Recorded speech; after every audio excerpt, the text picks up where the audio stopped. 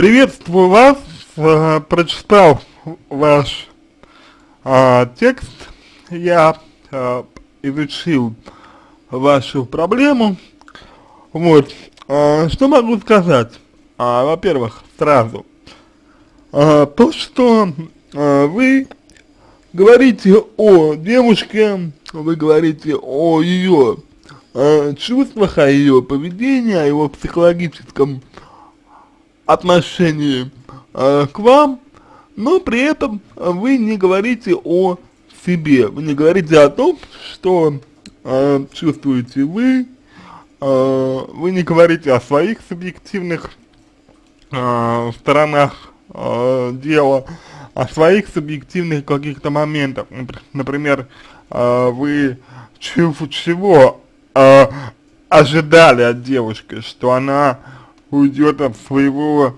э, мужчины, с которым она э, вроде бы э, три года, да, она с, с которым она три года э, общается. Это вопрос скорее вашей самооценки на самом деле. Но давайте обо всем по порядку. А, значит, вы пишете, нужна реальная помощь, помогите. Здесь а, первый момент. А, реальная помощь а, вам может быть оказана только в рамках индивидуальной консультации, а, где будут заданы все необходимые вопросы, где будут изучены все нюансы, в том числе и ваши а, собственные чувства, ваши собственные желания, и отделено одно от другого. То есть невротическое будет отделено от настоящего, свободное от несвободного. А в данном случае реальная помощь а, а, остается а, под вопросом. Дальше а, вы пишете, значит, а, что а, мне нужна помощь, потому что я перестал понимать девушку. Здесь э, хочется вам сказать э, то, что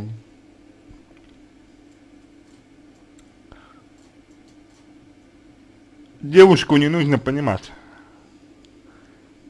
э, потому что человек не всегда способен понять себя, чтобы понять другого человек не способен, э, не всегда способен понять и принять себя, чтобы понять и принять другого.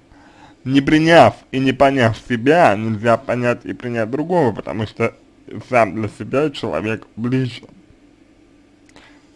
Э, нужно чувствовать себя, нужно чувствовать свои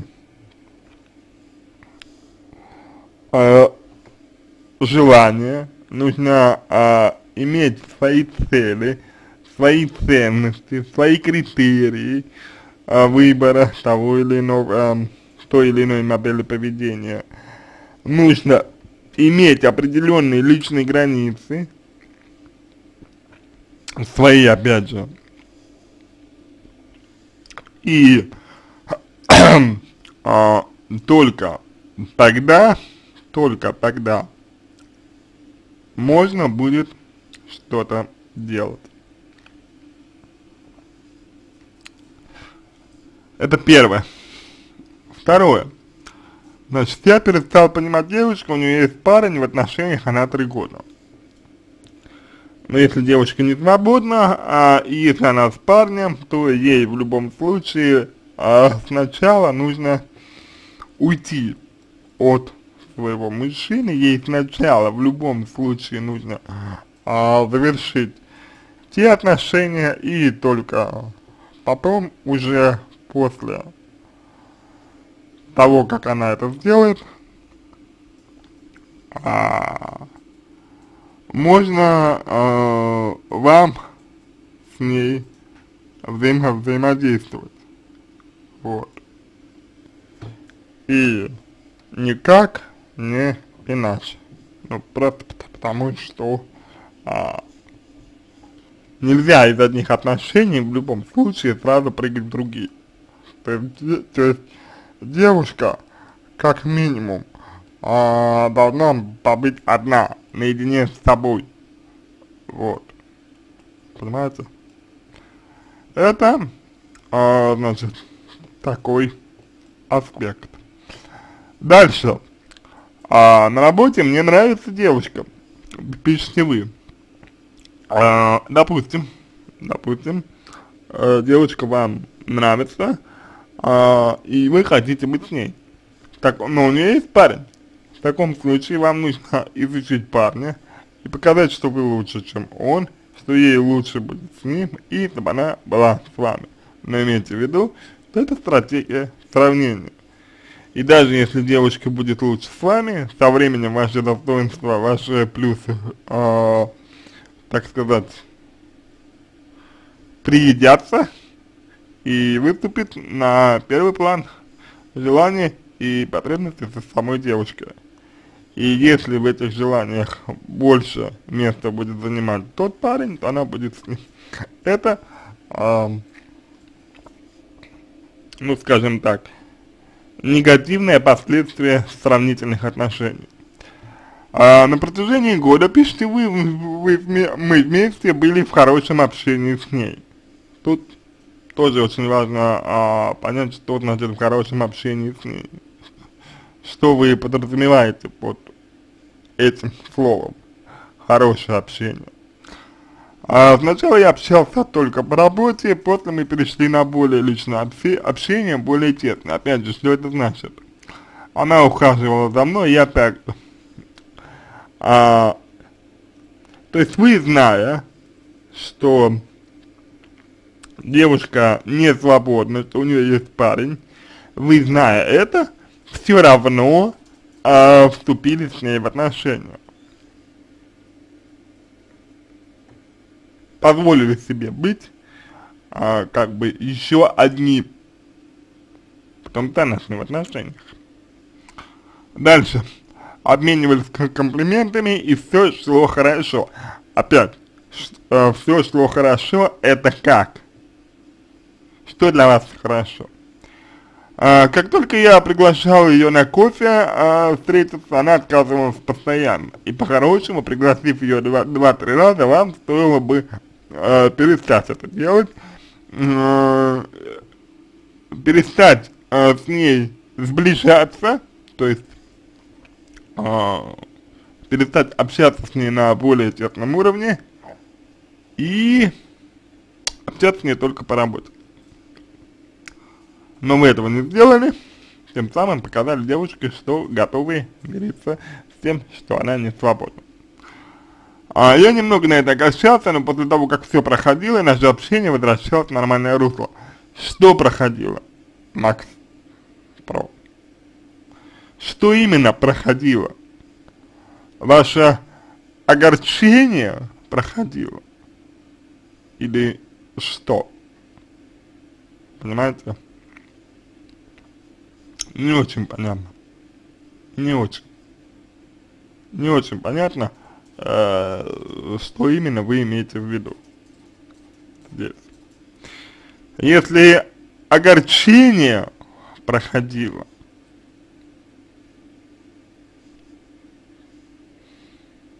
да, оно проходит, но ситуация остается та же.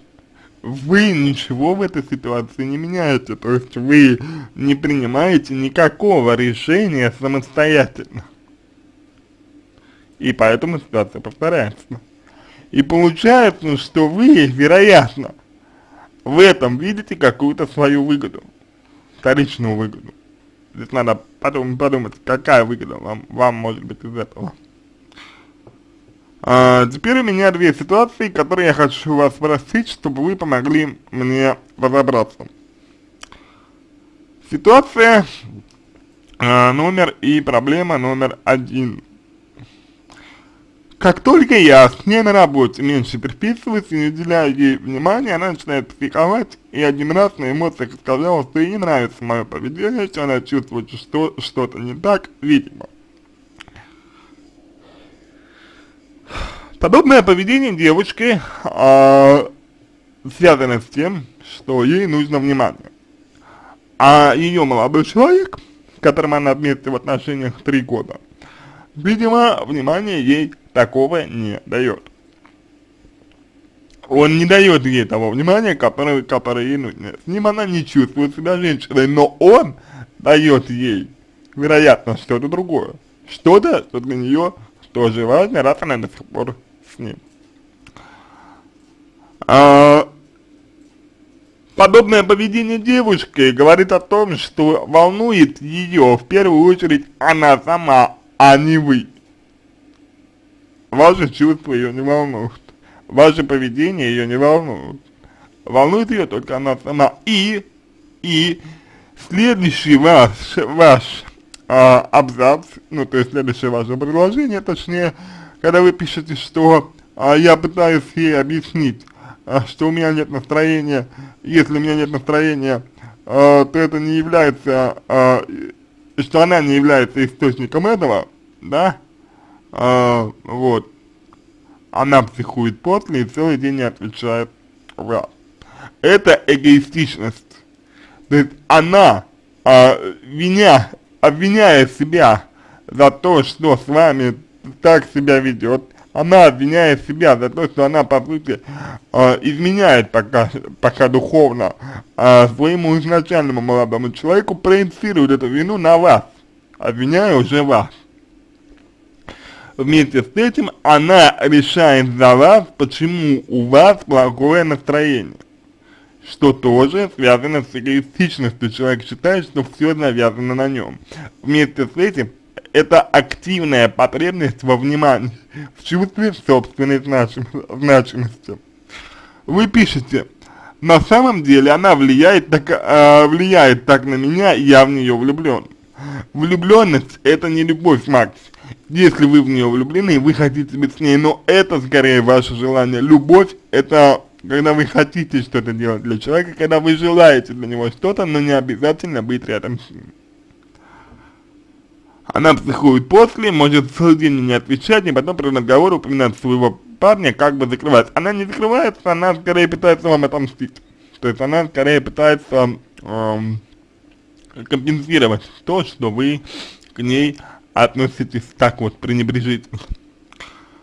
А, то есть, получая эмоции от меня, она постоянно хочет, а, не очень понял, получая эмоции от меня, она постоянно хочет, наверное, вы хотели сказать, получать эмоции от меня, она постоянно хочет, а как только она их не получает, сразу значит, оно что-то не так. Да, она вас использует точно так же, как, как использует а, своего другого мужчину. А, когда я ей прямым текстом говорю, что ты мне очень нравишься, она мне подолгу не отвечает, потому что ей ответить вам, по сути, не, нечего. Сказать вам нет, означает, что, скорее всего, вы уйдете. Сказать вам да, означает взять ответственность, которую она брать не готова. Когда пытаюсь развить что-то с ней, она сразу упоминает своего парня в общении, тем самым, э, опять же, ограничивая рамки своей ответственности. Она не готова уходить от своего парня и быть с вами. На психологическом уровне она пытается меня удерживать, и в тот же момент она не хочет сдвигать наше общение во что-то более серьезное. Да, да, вы правы, только а, неправы в том, что она хочет а, сдвинуть общение а, во что-то серьезное, но боится а, своего желания и не позволяет себе это, это желание реализовать. Вот. И своего э, первого мужчину, своего первого парня она использует точно таким же образом. То есть она тоже, тоже его удерживает, она тоже психует, она тоже его и манипулирует таким образом, потому что он не дает то, что ей нужно. А, что мне в этой ситуации сделать? А, перестать играть э, в ее игру. Перестать играть в ее игру, которая можно назвать отчасти треугольником Карпмана, отчасти это можно назвать игрой насилуют. Есть такая игра насилуют, она, правда, име, э, имеет несколько степеней, ну, как и любая игра. Э, психологическая, и здесь, на мой взгляд, э, первый тип игры, самый-самый первый тип, тип, когда э, человек вроде как идет на сближение, когда человек вроде как проявляет симпатию, когда вы, э, видя, что она проявляет симпатию, готовы ответить взаимностью, отвечаете ей взаимностью, на что-то надеетесь, и она тоже дает вам э, отворот-поворот. Можете почитать, почитать про эту игру, э, в интернете она есть, психологическая игра насилуют. Дальше. А, с одной стороны, у нас год был такой теплого общения, она во многом мне помог, помогала и была, и была очень милой. С другой стороны, у нас ничего не двигается вперед. Ну, а кто сказал, что двигаться вперед что-то должно? Насколько я понял, вам она ничего не обещала. То есть, а, у вас есть какие-то а, ожидания от девушки, а, но чем эти ожидания продиктованы, если честно, не очень понятно. То есть, есть девушка, которая с вами флиртует, которая с вами сближается, которая с вами заигрывает, но она вам ничего не обещает. Вы сами делаете вывод, что она вам что-то должна, и обижаетесь на то, что она не, не дает вам то, что вы считаете, она вам должна. Но ведь это ваше желание.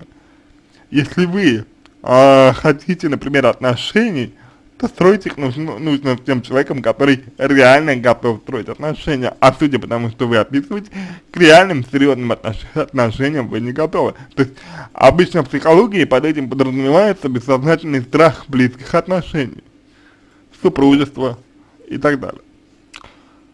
А, работая с ней, а, работая с ней год, я немного ее изучил, пишите вы, а, и хочется от вас услышать совет, как мне на это реагировать и что предпринимать.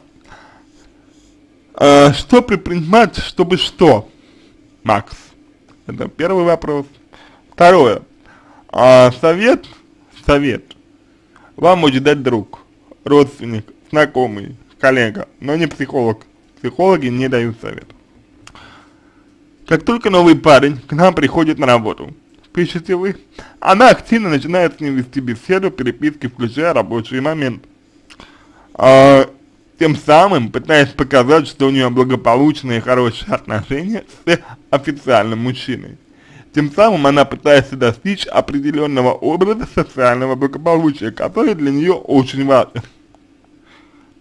У нас сын директора пришел к нам работать, и вот уже на второй э, день она активно с ним ведет переписку, э, так, если у вас очень длинное предложение, давайте мы его разобьем. А, у нас сын директора пришел к нам, к нам работать, и вот уже второй день она активно ведет с ним переписку. То есть, по сути, она флиртует с ним так же, как и с вами, и заигрывает с ним так же, как и с вами. Вот. То есть, по сути, это человек, который повторяет всю игру, которую он повторял с вами, теперь и с этим человеком.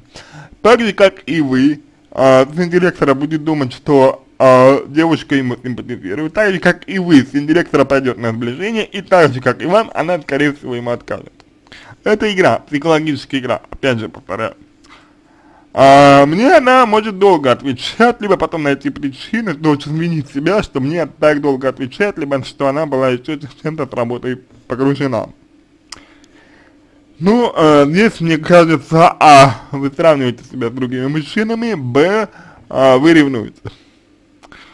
Я с ней сегодня не общался целый день, просто поздоровались с утра, она мне не писала целый день, но как только я подсел к девочке-коллеге, мы, и мы работали, и много смеялись, она посмотрела в нашу сторону и тут же написала, как я, потому что не хочет вас терять.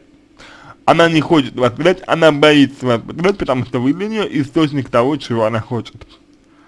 Э, я ей отписал очень коротко и сухо, она мне на это не ответила ничего вообще.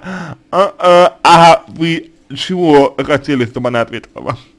А, начала в офисе ходить вокруг и мимо меня, а потом и вовсе присела ко мне задавала разные глупые вопросы насчет компьютера и прочее. То есть опять же пыталась вам напомнить о себе. Вопрос, зачем мне все это надо? Объяснил. А, вопрос э, к вам. Э, как ответ на ваш вопрос поменяет ваше поведение? И что он вам даст. Потому что дело все в вас, а не в ней. Дело в том, как вы к себе относитесь, чего вы хотите и как, как вы эти свои желания реализуете, а не в ней. Дальше. А зачем нужен я, если появился новый парень, и она так с ним активно ведет переписку? А зачем ей нужен тот парень, с которым она а, три года вместе, а, если появились вы? Получается, она как собака на сене, хочет это всех внимания, но не хочет менять свои отношения. А, скорее так, хочет внимания, а, боится менять отношения. А, я не могу ее понять и не поймете, потому что вы не понимаете себя. Как мне, как мне себя вести? а вот поведение ваше не должно зависеть от каких-либо людей. Ваше поведение должно быть всегда одинаковое и соответствовать, соответствовать а, вашим ценностям, вашим целям, вашим идеалам и тому, чего вы хотите. А, свои цели я знаю, я хочу быть с ней, я влюблен, влюблен, и мне с ней рядом хорошо. Это не цель, Макс, понимаете, это не цель. Вам с ней хорошо, это не цель. Вы себя чувствуете с ней хорошо, и поэтому вы хотите быть с ней, но это не любовь. Если это любовь, вы сказали бы, что я хочу, чтобы она была счастлива, но вы говорите о себе. То есть, по сути, это тоже эгоизм. Если вам с ней хорошо, то нужно подумать, из чего состоит, состоит вот это э, чувство, что вам хорошо. Как вы можете сделать так, чтобы вам всегда было хорошо, или, по крайней мере, чтобы это чувство не зависело от конкретного человека, тем более от девушки, тем более от такой девушки. А может вам хорошо только потому, что вы знаете, что она не принадлежит, не принадлежит вам, и что ничего серьезного у вас не будет. Для чего вы хотите быть с ней? Чтобы что? А, но когда вот такое каждый божий день, в особенности проблема номер один, и, номер один и два, что описал, начинает действовать на нервы мне. Опять же как? То есть, а, вы испытываете раздражение, вы испытываете разочарование, вы испытываете что? Какие чувства? Какова природа этих чувств? Когда вы начинали, начинали это испытывать? Когда вы начали это испытывать? Когда испытали первый раз? По поводу чего? Подумайте об этом. Я ее очень ревную признаться. Ревность – это страх одиночества, то есть вы не принимаете самого себя. Ревность – это отсутствие собственной значимости, и это нормально, потому что ваша цель быть с ней, тогда как ваша цель должна быть совсем другой. Цель достижения определенных вершин, цель достижения определенных высот, цель либо создания чего-то, либо еще. Возникает вопрос, для чего вы работаете, какое у вас хобби, чем вы вообще увлекаетесь и на что тратите свою энергию, если вас она так сильно задевает девочка, какое место а, занимает в вашей жизни, например, работа, что вы так реагируете на нее, на, ну, на девушку. Дальше. А, я понимаю, что глупо, так как, так как у нас и отношений нет. Это не глупо. Понимаете, это не глупо. Дело в том, что ваши желания, ваши желания, они нормальны. Просто вы не совсем нормально их реализуете. Дальше. А, и нас, и она этим может закрыться, что я ее так не понимаю. Так, вот это вот не очень понятно. Она этим может закрыться, что я ее не так, не так понимаю. Она не закроется, скорее всего, потому что она в вас нуждается, и закрытие это как бы исключает. Вот. Она может отдалиться или она может более узко, превентивно с вами общаться, забирая у вас то, что ей нужно, без каких-либо затрат. Как мне все с ней сохранить? А что именно сохранить? У вас, вы сами сказали, что у вас отношений нет. Что именно сохранить, что вы пытаетесь? И не показывать эмоции своих, я не, э, и не показывать эмоции своих ей. А почему не показывать своих эмоций? Если вы недовольны, покажите ей. Раскройте напрямую все свои эмоции. Раскройте, проявите их, если вы это чувствуете. Но имейте в виду, что за этим последуют последствия, за этим будут, будут результаты, и несите ответственность за то, что вы чувствуете. Вот. Либо, если у вас есть эмоции, посмотрите, какие чувства их вызывают, потому что эмоции чувства разные вещи, а вот, и направьте свою деятельность на то, а, что вам и, и индикатирует ваши чувства. Потому что, как правило, как правило, подобные отношения носят субли, сублимационный характер. То есть, а, в жизни вы, например, простаиваете. То есть вы не чувствуете перспектив на работу, вся ваша жизнь, в принципе, довольно однообразна, да, то есть можно, можно сказать так, что вы работаете, то, работа дом, работа дом, друзья, например, да, там, ну, как какой-то досуг, все. И, естественно, девочка приносит вам какое-то разнообразие. Но и она становится целью. То есть на фоне вот этого всего однообразия, которое у вас есть в жизни, если я правильно понял, вот, а, на фоне того, что вы занимаетесь, возможно, не своим любимым делом, на фоне того, что вы не чувствуете, что вы реализуетесь, девочка выглядит весьма весьма э, привлекательно, как, как приз, как элемент достижения, как что-то важное для вашей духовной составляющей. Но это суррогат. Девушка не может такой быть. Вам нужно заниматься чем-то своим и добиваться чего-то своего, и идти своим путем, и девушка либо пойдет с вами, либо нет. Дальше. А, вы пишете, значит, так, я не знаю, что, э, что от меня надо ей тогда. Ну, я сказал, вот такая запутанная ситуация. Нет, Макс, ситуация не запутанная, она была бы э, совсем хорошей, она была бы э, совсем легкой, если бы вы э, брали ответственность за свои желания, за свои желания а, поскольку ответственности за свои желания вы не несете в данном случае, а проецируете их на девушку, то ситуация поэтому и принимает такой э, неблагоприятный оборот. Вот. То есть я думаю, что запутались в ситуации вы сами позволив себя девушке втянуть в игру. И надо сказать, что у этого ну вот у того, что вы позволили втянуть себя э, в игру, есть, конечно, свои определенные причины.